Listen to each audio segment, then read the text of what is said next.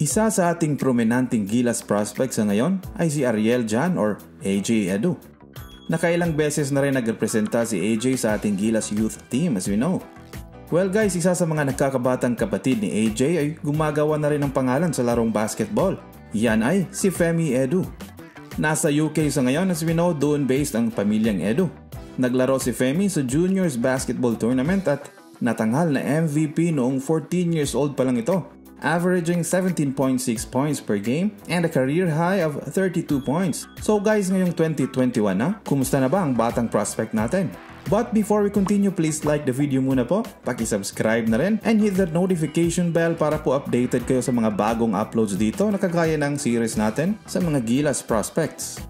Guys, una sa lahat, usapang eligibility muna tayo. Well, kagaya ng kanyang Kuya AJ, eligible na rin si Femi para maglaro in the future sa Philippine National Team. Opo, meron na pong passport si Femi noong 14 years old pa lang siya. And eto guys, from a reliable source, one of the admins actually sa official AJ Edu fan page, through the mother mismo sa bata na kasalukuyang nasa UK ay 15 years old na ngayon si Femi. At tumatangkad pa nga ito. Sabi ng mom ni Femi, he is now standing at 6'6". Magandang balita yan. Prinoject natin natin at 6'9 ang bata pero baka lalampas pa dyan. Depende na lang sa kanyang growth spurt. Sa mga hindi pa nakasulyap sa galawan nitong si Femi, well guys, sa murang edad pa nito ay kita naman natin na versatile talaga si Femi. Maganda ang handles nito and more of the offensive ang kanyang laro. Well indeed, another prospect para sa atin na may galawan as a future stretch big man or even as a tall guard. In the coming few years ay hindi na talaga mabubuli ang ating pambansang kupunan sa kahit anong international teams dyan, mapa Europa or Americas. Dahil nga marami na tayong big man. And take note ha, hindi lang traditional big man ang mga yan. Kung hindi, skilled talaga and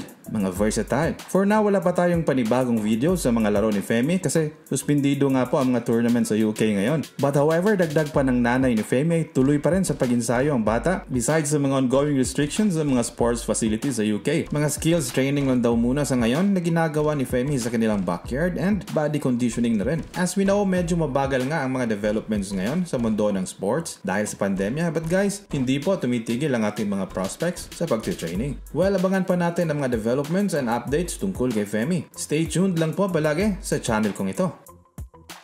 And guys, remember, meron po tayong giveaways dito sa channel ko on my road to 20k subscribers. Mamimigay po tayo ng basketball sneakers. Of course, guaranteed. Genuine brand po yan. All you need to do after na nakasubscribe na po kayo ay mag-comment lang ng hashtag road to 20k. Ganon lang po kadali at may entry na po kayo. Who knows, ikaw po ang palarang manalo ng basketball sneaker.